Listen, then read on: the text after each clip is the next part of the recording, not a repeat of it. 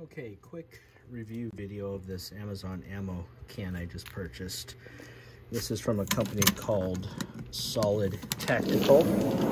This is the 50 cal size in flat black.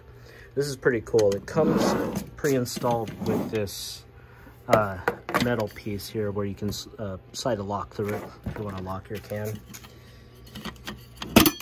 It is also waterproof as advertised. It has a rubber gasket going all around. I actually did test it. I didn't get a video of it, but I did test it. Submerged it underwater. No leaks. The other reason I bought this is because on the, on the bottom, it has this relief cut in it, which means they are stackable. So that's where the handle goes. So I thought that was pretty cool. Um, very, very sturdy.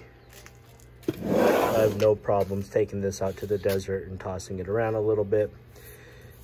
And then also, here you go. 20% off promo code on Amazon. That's all I got today. Thanks for watching.